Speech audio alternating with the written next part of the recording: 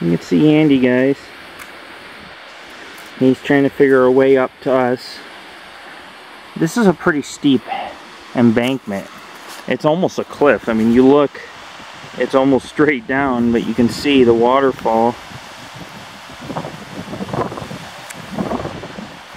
And we have to get all the way up another 50 feet to the tree line and then we'll be up in the national forest.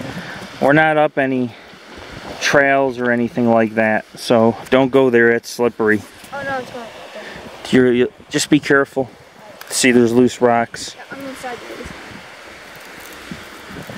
It's very easy to get hurt if you don't know how to rock climb or you don't know what you're doing. Just want to make sure that we can stay where Andy knows where we are. But we're hiking up.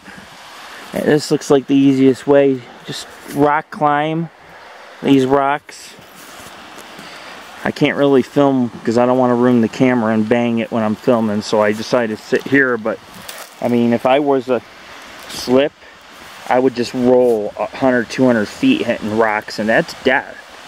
So you have to be meticulous, but you also have to be cautious of what rocks you grab and how you plant your foot down in this type of terrain. But I mean, we're literally climbing over um, this, the canyon. This is the canyon of Kings Canyon. We're climbing over the ridge right now. But we're almost on the top. And it's going to be a great view once we get there. So anyways, I'll be back with more footage. Uh, I think I can. It's not even, I think I can. Let's do this. Let's do this now. This is Lord Rick.